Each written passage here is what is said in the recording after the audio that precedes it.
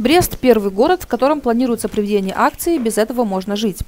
Под этой фразой инициаторы имеют в виду алкоголь, курение и наркотики. Ведь зачастую многие преступления совершаются подростками в состоянии наркотического или алкогольного опьянения.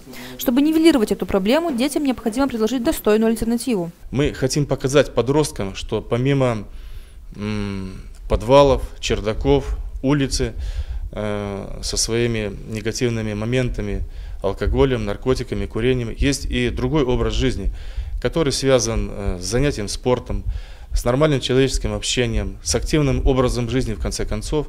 И на эту сторону мы пытаемся перетянуть, привлечь к себе всех несовершеннолетних. Несмотря на тот факт, что сегодня на Брещине тенденция совершения преступлений подростковой среде идет на убыль, продолжать профилактическую и предупредительную работу просто необходимо.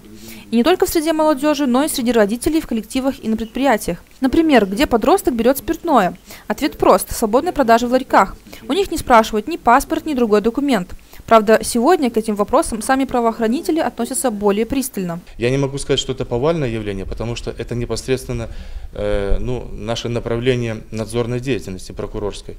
И мы постоянно обращаем внимание на профилактику, в том числе и этих явлений. Совершение преступлений в состоянии алкогольного опьянения у нас также имеет тенденцию к снижению. По городу Бресту у нас совершено 5 таких преступлений. Вместе с тем у нас привлечено к административной ответственности каждый пятый подросток за распитие спиртных напитков в общественных местах именно житель города Бреста. В целом по Брестской области за 9 месяцев текущего года количество зарегистрированных преступлений, совершенных подростками, составило 236 случаев. Это на 36% меньше по сравнению с аналогичным периодом прошлого года. Для сохранения этой положительной тенденции в рамках акций в городе будет дан старт мероприятиям, посвященным пропаганде здорового образа жизни, формированию нравственных ценностей, а также привлечению детей и молодежи к таким назревшим социальным проблемам, как алкоголизм, наркомания и табакокурение.